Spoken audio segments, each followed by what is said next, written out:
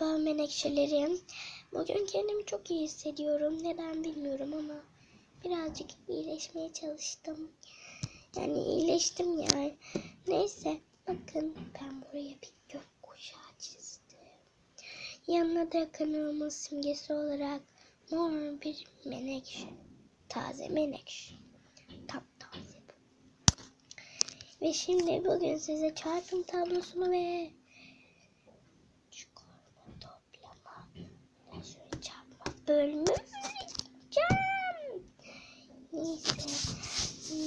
ilk örnek olarak vereceğim. Ah. Bakalım.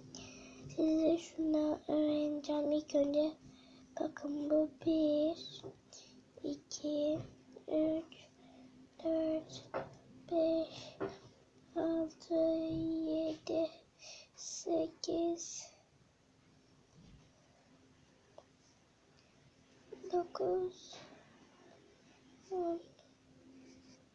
Evet. Şimdi çıkarma ile yapacağız ilk önce. Hmm, düşünelim. Mesela 6'dan 5 çıkartalım. Çıkarma bir sayının kendisinden azalmasıdır. Belirli bir şeye göre kendisinden azalmasıdır. Mesela e, bu kalem var ya e, şöyle bakalım 1 2 3 4 5 6 6 tane kalem var. Ben bunun 5'ini alıyorum. Geriye bir tane kalemim kalıyor. Bu böyle bir şey. Şimdi 5'ten 6.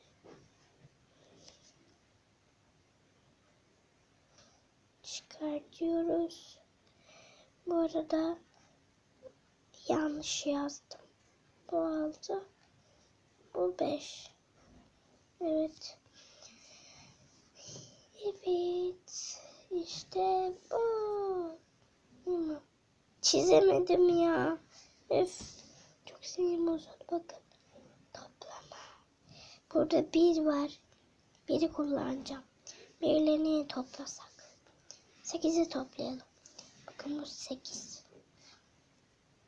Bir, iki, üç, dört, beş, altı, yedi, sekiz.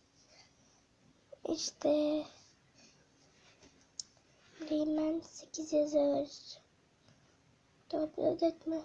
9 oluyor. Şimdi çarpıyoruz. Aa, ben size toplamayı anlatmadım. İki tane kalemimiz var. Şöyle. Sonra ben buna iki kalem daha ekledim. Bunları birbirleriyle topladım. Ve dört kalem oldu bu şekilde. Ee, Şimdi 9 kere 9 yapalım.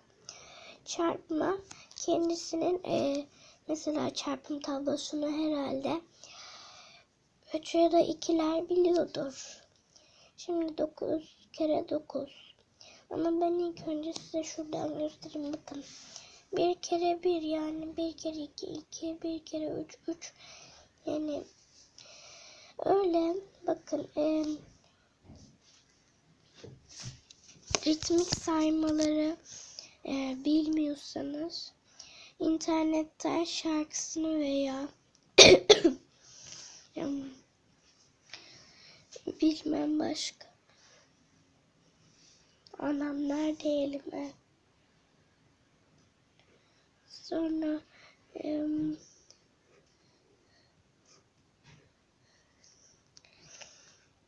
şarkısını ve e, e, resmini açabilirsiniz. Oradan ezberleyebilirsiniz. Ya da ailenizin yardımıyla bir tane kendinize yapabilirsiniz. Bölmeyi söylemek istemiyorum. Buradan anlatabilirim. Bu benim ödevim. Bölme bir sayının içindeki mesela em, 24'ün içinde kaç tane 6 vardır? Hemen sayıyoruz. Ritmik saymayı biliyorsanız onun da videosunu çekeceğim. 6, 12, 18, 24. Gördünüz mü? 4 tane varmış. Ben buraya 4 yazdım. Çünkü cevap 4. Sonra böyle çarpıyoruz bunları alttan buraya yazıyoruz ve sonra bunları çıkartıp sıfırı koyuyoruz. Ama kalan e, bir de olabilir, iki de olabilir, sıfır da olabilir. Öyle. Bakın burada da örnekler var. Biz şunu yapmış. 24'lü nerede ya? Hı, evet burada. Bakın 24 bölünen sayı bölen yani 6 onu bölüyor. Hani bunu bil, bölüyor 6 6. Ee, bu da bölüm arkadaşlar. Bölüm asıl burada. Cevap burada değil. Bunlar kalan sayılar. Kalan sayı 0. Bölüm 4. Yani sonuç. Asıl sonuç kısmı burada arkadaşlar. Şöyle şuralarda filan değil. Şurada altın altındaki kutucukta. Kutucuk değil aslında ama olsun.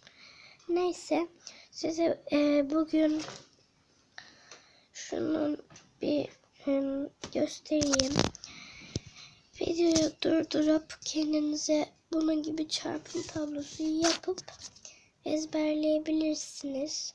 Videoyu durdurun isterseniz. Ama neyse. Em, görüşürüz. Bay bay. Sizleri çok öpüyorum. İnşallah çok like'ım. Çok istiyorum. Abonem de çoğalsın lütfen. Sizi çok seviyorum.